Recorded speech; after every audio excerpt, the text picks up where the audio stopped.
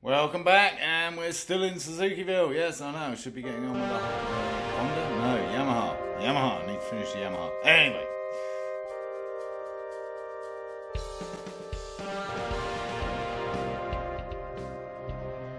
We have more exciting goodies. We have two pairs of handlebar levers, etc., as per Yamaha, actually.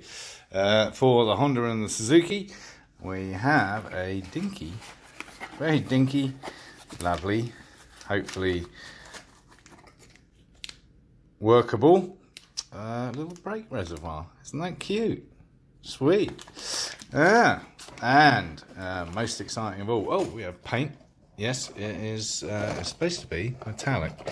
Doesn't look very metallic on the lid, but there we go. That kind of cyber grey, that Kia titanium colour that we've um, cheated with.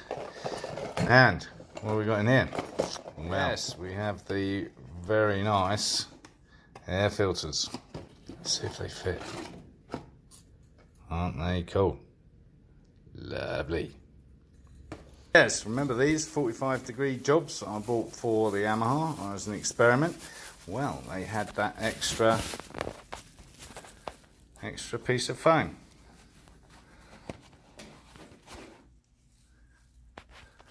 That boy there. So I'm going to uh, chop a piece of that out because I think it will fit in there. Well, they fit beautifully and they look uh, very cool indeed. Um, I like the idea of that extra little bit of foam rubber though, so I'm going to experiment with that. But yeah, very nice. Um, bit cheap and cheerful actually, seeing as they were so expensive, but they're very lightweight, so we like lightweight. Cool. There you go, job done. Anyway, I'm not going to put them on right now, um, nice though they are, because I'm still messing around with electrics and stuff, and it's easier if they're out of the way. So the idea is that that replaces that. Yeah, and if it works, and it looks like it should, um, then uh, we may swap out the one on the handlebars, which uh, is disappeared at the moment, but that would be cute up there. And uh, we may even do the same over here with the Yamaha. May. Although, I've already had that one off twice, so I think I'll stick with that one. We like the sign. Not bad for 10 bucks, eh? Well, it looked all right last time, but um, yeah, it definitely needs to be bigger because uh, this boy can't mount any lower than that. So, uh, hmm, okay. Cut number two. Uh, not so sure about it now because it kind of takes up a lot of real estate. I'm not sure about that. Don't think I like it. That'll work on the other side. Yeah. Nothing in the way there, apart from the chain, but as long as we keep clear of that, which we are, we're good. Lovely. Let's go in there then. How cute is that? That works. As long as it plugs into that rather large tube. I'm hoping it will. Let's find out. That's all that. Semi bolted down and um, likewise under here uh, bolted down ready to go. Routed up. Over there. Might need to shift that. And um, still looking neat and tidy in here. So that's good. Need to work out whether I'm going to lock that off or not or just leave it and tuck it up. I think I'll tuck it up. Done that just leaves this and all the attached cobblers uh, to organise, but we can do that. We know where that's going now. Still have no idea about this. Then all we have to do is work out where the battery's going to go. Lovely. So much for universal brake fittings. It's like a dick in a bucket. I retract my previous statement about uh, brake fittings being universal. So that's a bummer. Alright, having double checked the grips, I'm going to cut the, uh, I'm going to cut the, am I going to cut the Susie bars or my old Triumph bars? I don't know, do we want chrome? I don't think we want chrome, and they're all going to be covered up anyway, so it don't really matter. Let's use the old Susie bars. Job done, compliments of Mr. Kawasaki, and uh, we still have a pair of children's cycle handlebars available at the next garage sale. Of course, I'll be needing Mr. Kawasaki again uh, if I'm going to be grinding these original mounts down because I can't think of anything else I'm going to be using them for. But I'm in no hurry to do that because um, you never know what you might want to mount where. So um, yeah, I'm going to leave them for the time being. Next stage on that is to actually take that top yoke off and get the clip-ons on. Then we can uh, put those uh, lovely cut bars into the uh, lovely clip-ons. And uh, yeah get everything sorted. Anyway meantime I've been busy outside spraying with my new um, titanium paint. And uh, apart from the obligatory statutory hair that's come out quite nicely I'm going to leave it like that for now um, because I don't know what I'm going to do about the backlight and mounting it and what that involves and um, yeah, but looking good. And just when I thought this was ready to go, I turned it round and yeah, divots and another one actually, and uh, blemish, and more divots, and uh, more divots. It's almost like me playing golf. Not bad for first coat. Um, well, a couple of coats of primer. Um, drop some fag on it. Need to sand that off. Uh, otherwise, pretty good. Uh, it'll need closer inspection.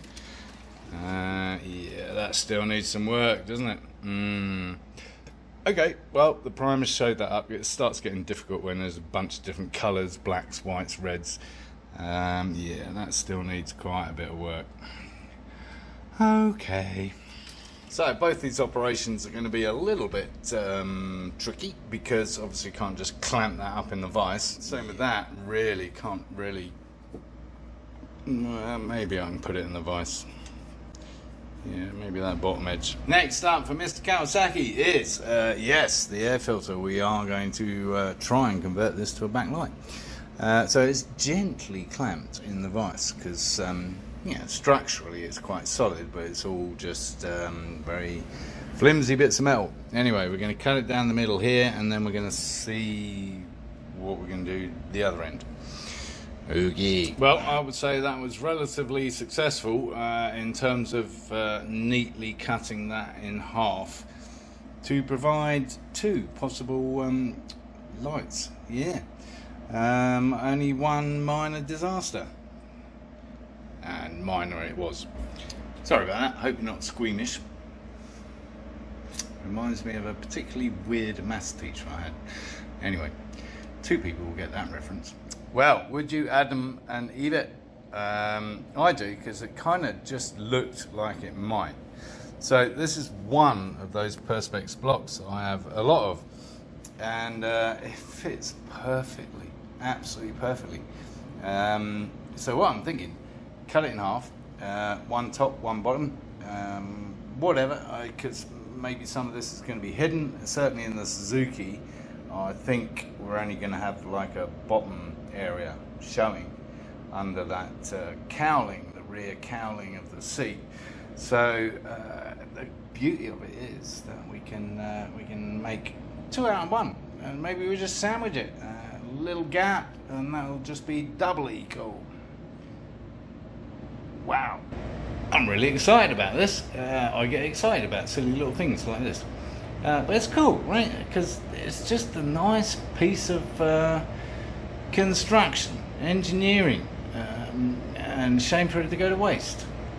Uh, not probably a very good air filter, but it'll make a very cool backlight. And while we're on the Suzuki, and I had the uh, Kawasaki out, I um, chopped the bars. I did, and uh, finished them off nicely at the ends.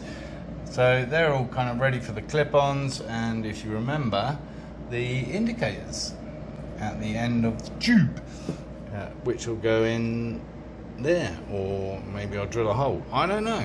Uh, I obviously want to hide the wires as much as possible. You know me. Uh, but there we go, ready to go.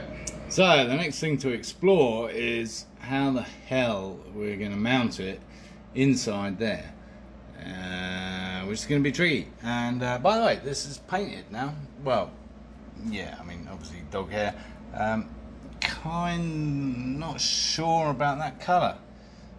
Uh, it's just kind of silver to me. I don't know. I'm going to leave it for the time being. Uh, obviously, it needs some sanding and finishing, uh, a final coat at least. So if it's a different colour, that's fine. But yeah, I don't, uh, I don't know. It's difficult for you guys to tell as well because it's under direct kind of artificial light, but it's just kind of silver to me, not.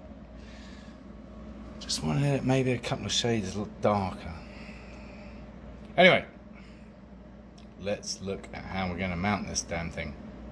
So to achieve that, uh, which would be that half a perspex block in there, um, you can kind of see, hope, hopefully you can see, uh, it's kind of in line with the bottom edge of the seat. And the best place to mount it obviously is, is here, which has got loads of bloody holes in it already. Um, we haven't even worked out how we're going to mount the seat and the battery's just there to hold it upright by the way uh, but obviously uh, that's clearly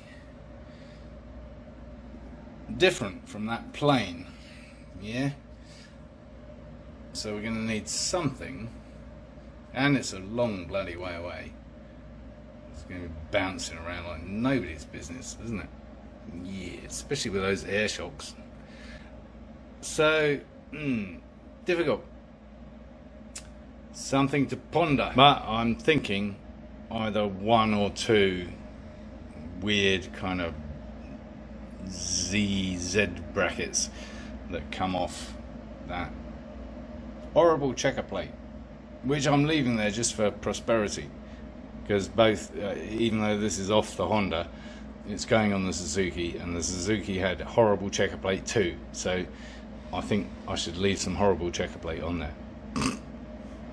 it would be rude not to, in uh, memory of Jolene number one. I'm thinking something like this, uh, you know, that kind of thing. Uh, but obviously not this thing, because this is a very specialised tool for taking off door handles on a um, on a 61 Bel Air. Yeah. Compliments from my mate Kurt. He just happened to have one. That would work if it was longer. Well, it could be longer, but it kind of needs that much per chase and it's an anti-tip bracket mm. anyway that's why you keep all this old shit because sooner or later it comes in handy except not this time around Bugger. well whilst I quite like the offset it's a little bit different um, just to show you that the lights will mount as low as possible on the forks yes Talking of which, we need to get this top yoke off and those clip-ons on. So, let's get this yoke off. Um, these are already loose on either side. So, I'm assuming it's just this boy here and then it'll lift off. And I was thinking about these and whether I grind them down or not and you know, I'm to repaint it obviously. But um, I'm thinking I'm to need somewhere with the clip-ons and everything to mount the new brake reservoir. And I can't see anywhere else at the moment although obviously I could pull it off that somewhere I guess. But I'm going to leave them there. As usual, took a little gentle persuasion with a rubber mallet, but we are off and uh, ready to put clip-ons on. didn't have the right size socket or the deep well version of it, and uh, had to use that, but it all worked out all right in the end. Let's get these boys on. Well, I know it's a little bit low, but it's because it slipped on beautifully. I um, pre-loosened it, and there you go. Slides on wonderfully. Okay. Cool, so we just need to make sure, yes, that's pointing down rather than up, because that would look really stupid. So we've got them on the right side. Good, good. Let's put the yoke back Because you know that's going to be easy, right? I mean, it was tricky getting it off, so it's going to be worse putting it back on. So of course this is going to be tricky because you've got to line it all up, but, um, oh, sorry about that. Um, oh, I just greased up the insides of those a little to aid the situation. Yeah. So it took me a while to uh, work out because uh, I wanted to raise these out the yoke and I forgot to uh, loosen them at the bottom yoke. Yeah, duh. Uh, and of course, when I did, the whole thing collapsed and fell over. Actually, big accident. Uh, wife came running, I'm fine. And um, yeah, so now we've got it precariously balanced on a jack so I can bash them down against the front wheels off the ground a little. And uh, I can decide what I want up here, what looks sensible. That's starting to look sensible. Um, and also dropping the front end. I know I could cut the forks and do all that stuff, but what the hell? Okay, both sides set at 38 millimeter, which apparently is a very popular size in the US. Don't know what that's all about, but this thing has to go. I just spiked myself in the knee. Bloody stupid kickstand. Yeah.